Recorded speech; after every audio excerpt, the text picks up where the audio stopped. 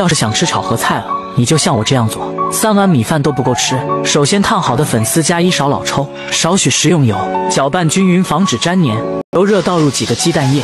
我每天都在用心的教做菜，麻烦你点个小红心鼓励一下，非常感谢。